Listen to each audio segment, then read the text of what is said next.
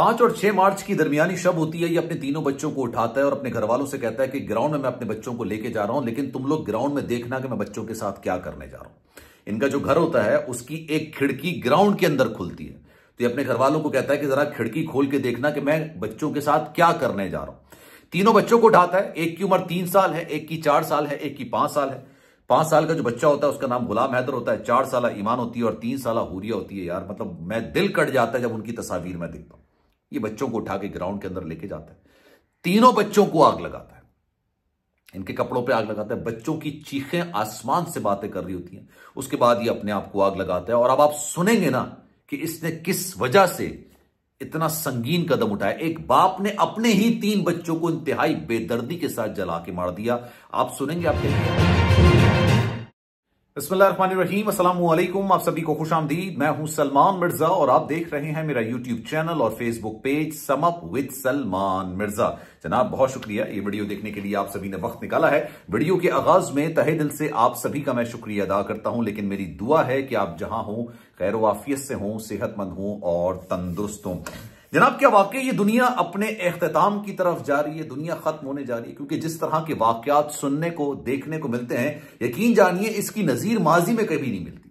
आज जो वाक्य मैं आपको सुनाने जा रहा हूँ, शायद इससे ज़्यादा दर्दनाक, खौफनाक, खतरनाक और दिल खराश वाकया हो ही नहीं सकता है, क्योंकि मैं ये गुमान नहीं कर सकता।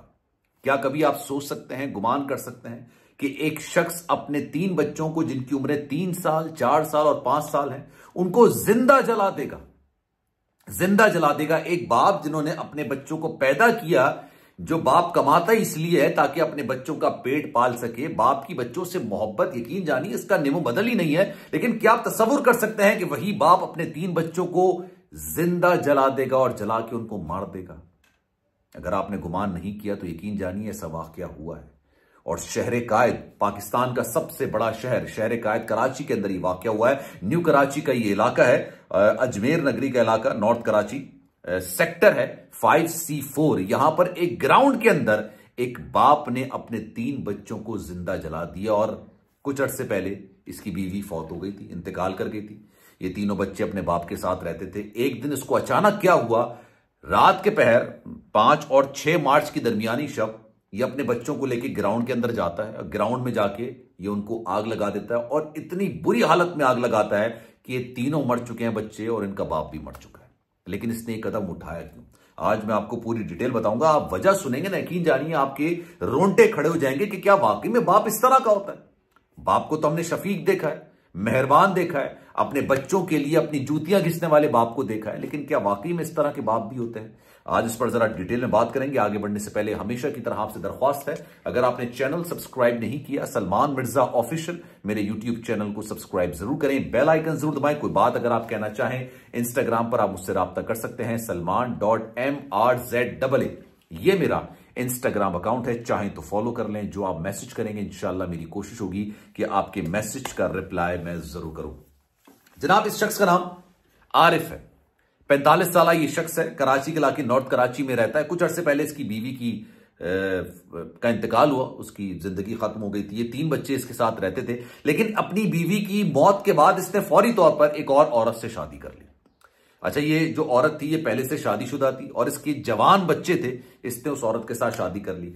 आरिफ नामी ये नौजवान, पैंतालीस साल शख्स, ये काम काज कुछ नहीं करता था और ना ही करना चाहता था। दो चीज़ें होती है ना, एक तो आपको काम कर मिल नहीं रहा है, आपको रोज़गार नहीं मिल रहा, बड़ी कोशिशें कर रहे हैं, लेकिन आपको रोज़गार नहीं मिल रहा है। और दूसरी सूरत हाल ये होती है कि आप रोज़गार कमाना चाहते ही नहीं है। आप पैसा कमाने के ख्वाहिशमंद है ही नहीं, अपने बच्चों को पालने के ख्वाहिशमंद नहीं अब जनाब, जिस औरत से ये शादी करता है उस औरत की वालिदा एक बयान देती है। आमना उसकी बीवी का नाम होता है, दूसरी बीवी का नाम। इसकी वालदा ये कहती है कि जनाब, आमना, क्योंकि शादीशुदा थी पहले, उसकी तलाक हो गई थी, उसके जवान बच्चे थे, कमाने वाले बच्चे थे। ये शख्स अपने तीन बच्चों के साथ घर के जिस पोर्शन के अंदर रहता था, उस पोर्शन का किराया दस हज़ार था, और ये दस हज़ार भी नहीं देता था। इसकी दूसरी बीवी के बच्चे, जो कमाऊ पूत बच्चे थे, वो इसके घर का किराया भर रहे होते थे। इसके बच्चों को पाल रहे थे। खाना ये अपनी दूसरी बेगम के साथ खाता था। अच्छा दूसरी बेगम की वालिदा ये कहती है कि इसको कमाने का कोई शौक नहीं था, लेकिन शादियाँ करने का बड़ा शौक था। इसने कराची के एक और इलाके में भी शादी कर रखी थी, इसने पंजाब में भी शादी कर रखी थी, एक औरत तो इसकी इंतकाल कर चुकी थी, और ये चौथी शादी इसने इस औरत की जो ज़िक्र कर रहे हैं, जिस माँ का ज़िक्र कर रहा हूँ, उसकी बेटी से इसने शादी की थी आपने और वो भी ज़ाहिर सी बात इसलिए की थी ताकि घर का खर्च चलता रहे। इसको शादियाँ करने का शौक ये था। जिस दिन ये सारा वाक्य हुआ, उस दिन इसकी बीवी की जो वालिदा है, वो वही कहती है कि यार, तुम सारा दिन घर के अंदर पड़े रहते हो। कोई काम काज नहीं करते। चलो, तुम्हें काम नहीं मिलता, वो एक अलग मैटर है। लेकिन तुम काम काज नहीं करते, तुम कमाना ही नहीं चाहते, अपने तीन बच्चों को पालना नहीं चाहते। बच्चे तीन साल का, चार साल का, पाँच साल के बच्चे हैं, इनका मुस्तकबिल क्या है? कम से कम इतना तो कमाओ कि अपने घर का किराया भर सको, बाकी तो तुम हमारे साथ रोटी खा लेते हो। हमारे साथ खाना खा ले तो दीगर जो ज़िंदगी के मामला हैं हम तुम्हारे पूरे कर देते हैं। कम से कम किराया तो निकालो। उस रात इसको पता नहीं क्या होता है। ये अपनी बीवी की वालिदा यानी अपनी सास को बोलता है कि आप ग्राउंड में देखिएगा, मैं अपने बच्चों को ग्राउंड में लेके जा रहा हूँ। दरवाज़ा, वो जो घर का एक खिड़की है जो ग्राउंड में खुलती थी, ग्राउंड के साथ ही इनका घर था। तो खिड़की जो है इनकी ग्राउंड में खुलती तो उन्होंने कहा, खिड़की से देखना, मैं अपने बच्चों को लेके जा रहा हूँ, देखते रहना मैं क्या करता हूँ? ये तीनों बच्चों को उठाता है, वहाँ पर लेके जाता है। एक एक करके तीनों बच्चों के कपड़ों में आग लगाता है, उसके बाद अपने कपड़ों पे आग लगाता है। रात का पहर होता है ज़ाहिर सी बात है, आग भड़कती है तो लोग देखते हैं भाग कर आते हैं, लेकिन उस वक्त तक बड़ी देर हो चुकी होती है। तीनों बच्चे बुरी तरीके से झुलस चुके होते हैं। जनाब, चार साल ईमान है और तीन साल हुरिया है और तीन साल गुलाम हैदर भी है। ये तीनों बच्चे थे। पाँच साल गुलाम हैदर है, चार साल ईमान है और तीन साल हुरिया है।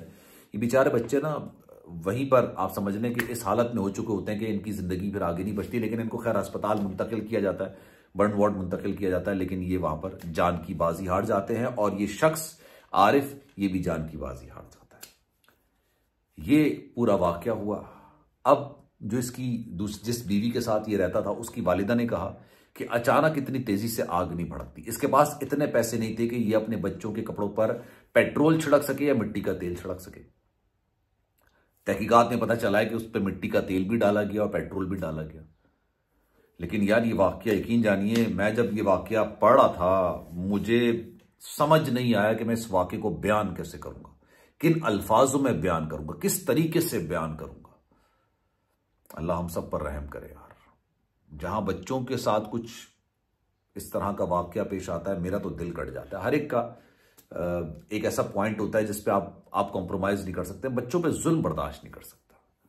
बच्चों के साथ इस तरह का सलूक बर्दाश्त नहीं कर सकता। बच्चे ना फरिश्तों का रूप होते हैं, मासूम होते हैं, हंसने खेलने वाले होते हैं।